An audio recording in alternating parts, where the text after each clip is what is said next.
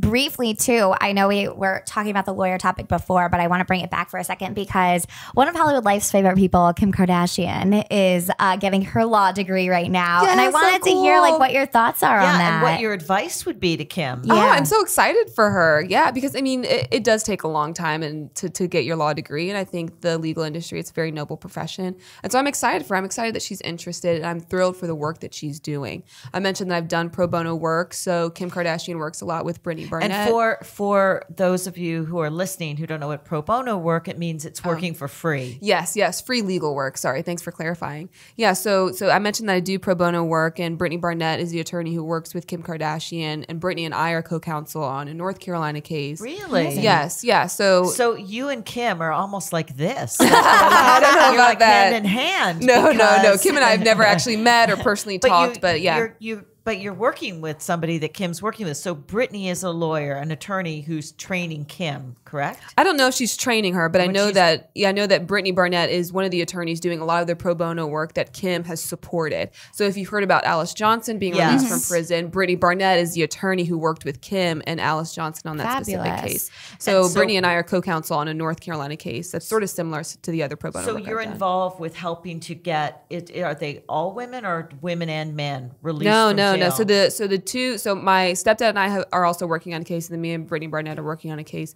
Both of our clients are men, and uh, we are working with people who generally have been sentenced to excessive sentences for low level drug crimes. So my stepdad and I, he's an attorney, and our client has been sentenced to life in prison Oh for a low level drug crime. And so we've been working Life for in prison? life in prison. Yeah, and I can't like- tell you how staggering that is to talk to somebody on the phone. I remember the first time I talked to our client on the phone, and he said, "You know, I I'm going to spend the rest of my life in jail." How long has he been in jail already? uh, I believe well over 20 years. Oh my God. I want to say it's like gosh. 21 what or did he 22 do? years. Low level drug crime. So he was sentenced pursuant to a three strikes law. Oh, I so you may have heard of mandatory minimums and three strikes laws. Uh, which in theory sound good, right? Like you know that that society would be so angry, like the- stop right. doing this. Like if you do this the third time, you're going to go to jail forever. But in in our client's case, it was possession, possession, possession.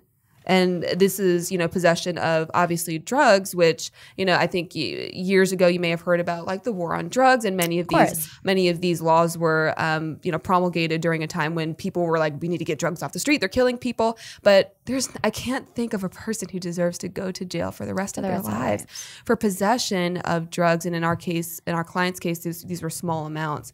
So yeah, so so that's why he was sentenced to life in prison. But that's why these laws, like three strikes laws and like like mandatory minimums, in theory may sound good, but in practice hurt people, right? Hmm, because you know exactly in our case, our client wants to be rehabilitated. He wants to go out and work and has plans to go out and work. And in his case, you know, the law has has left him in, in a jail cell and deprived him of freedom. You know, and it deprives our country of somebody who wants to work and give back to society. So, and we're, we're continuing also to work costs with him. us a lot of money. Like Oh, it's it our sure does. taxpayer dollars Yes, to does. keep a person who's not violent and Mm-hmm. not going to commit another big crime out, and probably no crime at You're all. making my case for me. We might need you on the team. so what happens when since you're Miss USA right now, like to your clients through the year?